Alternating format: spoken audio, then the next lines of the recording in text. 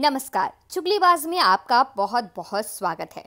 बॉलीवुड में इन दिनों अपनी फ़िल्म सुपरहिट करवाने की जितनी जद्दोजहद होती है, उतनी ही पहले भी हुआ करती थी। ऐसे में जब किसी स्टार की एंट्री होती है तो उसे लगता है कि वो आखिर किस तरह से अपनी ज़िंदगी में सफल होगा। फिल्मी दुनिया में कदम रखने के लिए सभी को पापड़ बेलने पड़ते हैं। कुछ ऐसा ही हुआ था जितेंद्र के साथ भी। बॉलीवुड में जंपिंग जैक के नाम से मशहूर जितेंद्र को ये नाम यूँ ही नहीं मिला। इसके लिए उन्होंने बहुत से पापड़ बेले और लगाई एक अनोखी ट्रिक। जितेंद्र के पिता फिल्मी दुनिया में सामान सप्लाई करने का काम किया करते थे। एक बार जब सेट पर सामान पहुँचाने के लिए जितेंद्र पहुँचे तो उन्हें फ़िल्म निर्माता ने हीरो बनने का ऑफ़र दिया। शुरुआत में तो जितेंद्र ने यह ऑफ़र ठुकरा दिया। लेकिन बाद में वो तैयार हो गए।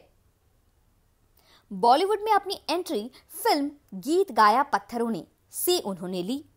ये फ़िल्म वी शांताराम की फ़िल्म थी।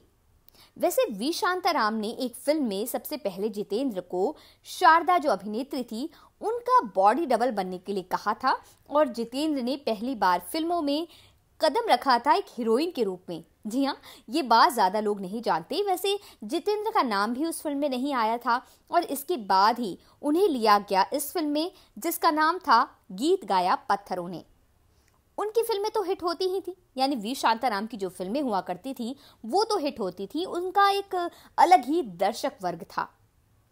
इसके ठीक बाद उनकी ही दूसरी फ़िल्म, बूंद जो बन गए मोती। इस फ़िल्म में भी जितेंद्र को उन्होंने काम दिया। और इसी फ़िल्म के दौरान जितेंद्र ने फ़र्ज़ फ़िल्म की शूटिंग भी शुरू कर दी थी। ऐसे में उन्हें किसी भी तरह अपनी ये फ़िल्म, यानी कि फ़र्ज़ जो फ़िल्म थी, उसे हिट करवाना था, क्योंकि बाकी जो दो फ़िल्में थी, वो वी शांताराम की वजह से हिट हो रही थी। जितेंद्र को अपने नाम से हिट होने वाली फ़िल्में भी चाहिए थी, क्योंकि इसकी वजह से ही उन्हें फ़िल्म इंडस्ट्री में आगे काम मिलता। तो इसलिए बहुत ज़रूरी था कि फ़र्ज़ जो फ़िल्म थी वो हिट हो। और इसी फ़िल्म की बदौलत उन्हें, यानी कि जितेंद्र को कमर्शियली हिट फिल्मी हीरो का खिताब भी मिलता। शुरुआत में फ़िल्म फ़र्ज़ को खास सफलता मिलती नहीं दिखी। यहाँ तक कि ट्रेड एनालिस्ट ने तो फ़िल्म को फ्लॉप तक करार दे दिया था। पर जितेंद्र हार मानने वाले नहीं थे। उन्हें ये यकीन था कि अगर फ़िल्म पंद्रह हफ्तों के लिए टिक जाए सिनेमा में तो सफल हो जाएगी। और फ़िल्म रिलीज़ हो गई थी, बारह हफ्तों से ज़्यादा का समय हो गया था, दर्शक नहीं आ रहे थे फ़िल्में देखने के लिए, फ़िल्म देखने के लिए फ़र्ज़ को। तो ऐसा लग रहा था कि अब कहीं वो सिनेमा घर वाले हैं, वो इस फ़िल्म को कहीं उतार न दें। तो बारह हफ़्ते से ज़्यादा का समय हो चुका था फ़िल्म रिलीज़ होकर, और दर्शकों का प्यार ना पाने के कारण फ़िल्म तो किसी भी वक्त सिनेमाघर से बाहर निकलने को तैयार थी। आखिरकार, जितेंद्र ने एक बड़ा दांव खेला और सारी टिकटें खुद ही खरीद ली। उनका ये पैंतरा काम आया। फ़िल्म फ्लॉप होते होते हिट हो गई। जितेंद्र ने इसी फ़िल्म में उछल कूद वाला डांस किया था। और उनका ये डांस उन्हें जंपिंग जैक की उपाधि दिलाने में कामयाब हुआ।